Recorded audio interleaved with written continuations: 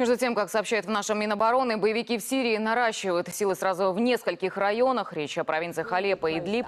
По данным Российского центра по примирению враждующих сторон, подкрепление прибывает со стороны Турции. При этом в последние дни поток террористов увеличился.